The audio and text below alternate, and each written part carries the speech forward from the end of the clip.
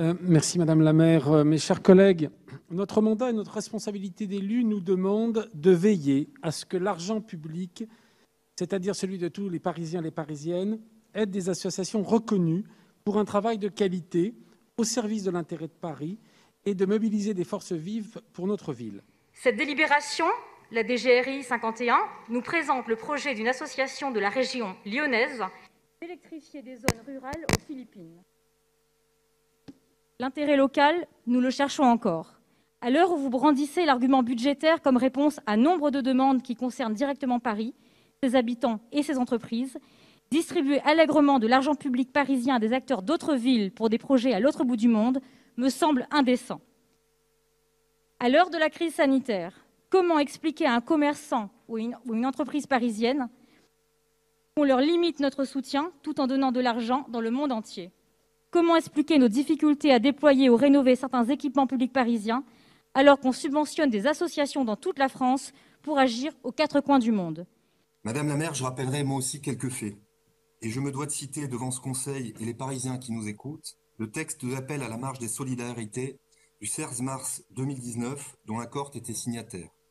Nous, familles des victimes tuées, violées, mutilées, blessées par la police. Nous, migrants chassés, torturés, traumatisés, persécutés par l'État et le système des frontières. Nous, habitants des quartiers populaires, harcelés et humiliés au quotidien par les forces de police et ciblés par le racisme d'État. Soutenus par des collectifs, des associations, des syndicats et des partis politiques, nous marcherons ensemble contre le racisme d'État et les violences policières. Ces propos auxquels la s'associe, racisme d'État, torture, persécution, prennent une tonalité particulièrement grave dans le contexte actuel que traverse notre pays. Cette association, elle le revendique, se fait le porte-voix d'un discours politique et militant. Par son discours, la Corte entretient un climat de défiance vis-à-vis de la police et des pouvoirs publics. Par son discours, la Corte, qui se définit pourtant pour la démocratie, encourage les populations d'origines étrangères à se dissocier de la cohésion nationale. Cela, cela doit être pris en considération. Face à de telles positions, nous aimerions comprendre pourquoi la mairie de Paris persiste à soutenir des associations dont les propos font polémique. La mairie de Paris doit au contraire faire preuve de fermeté et de cohérence. On ne peut pas dissocier l'action sociale d'une association de son discours militant.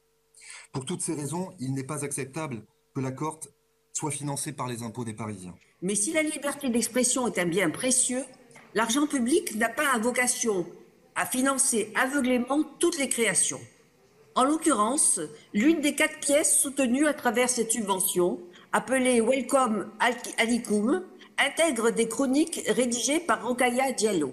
Faut-il vous rappeler que Rokaya Diallo s'est surtout fait connaître par sa proximité avec le tri décrié mouvement indigéniste et pour sa défense d'un communautarisme excluant, agressif et revendicatif.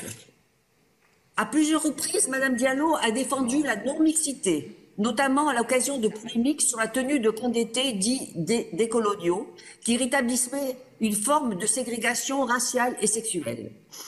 À plusieurs reprises, elle a milité pour le port du voile, assimilant à notre, notre laïcité républicaine à la pire intolérance.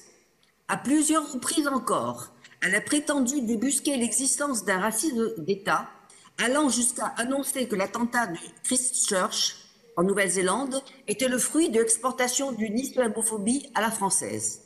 Je vous rappelle enfin son tweet daté du 10 septembre 2019, dans lequel elle affirme que les Juifs n'ont pas été exterminés en tant que groupe, puisque d'après elle, je cite encore, ce n'est pas leur couleur de peau qui a motivé le génocide. Ces excès ont justifié, dès 2017, son exclusion du Conseil national du numérique, quelques jours à peine après sa nomination. Est-il légitime pour autant que l'argent public des contribuables parisiens servent à financer un spectacle coécrit par Madame Diallo? Je ne le pense pas. Les exemples récents, on se conseille par exemple, la DFPE 108, passée en sixième commission, subventionne au nom du resserrement des liens entre les familles, l'école, le collège et les équipes éducatives 20 associations, dont l'accord, dont nous dénonçons régulièrement les positions que nous refusons systématiquement de subventionner. Au Conseil d'octobre, la DDCT 34, passée en quatrième commission, subventionnée au nom de l'intégration 33 associations, dont la FASTI, qui avait tenu, après les attentats de 2015, des propos que la municipalité avait jugés choquants et inacceptables à l'époque. l'ICRA avait alors dénoncé ces propos qu'elle qualifiait d'argumentation islamiste visant à justifier les attentats. En 2015, ces prises de position avaient conduit l'État de plus financer les fastis et avait constaté avec la LICRA dans un communiqué en 2018. Elle avait finalement demandé à ce que la FASTI ne reçoive plus de subventions de la part de la ville de Paris. Madame la maire, en augmentant le montant des associations à financer dans une seule délibération, vous entretenez l'opacité de votre gestion et l'inquiétude surtout des Parisiennes et des Parisiens qui ne nous font plus confiance.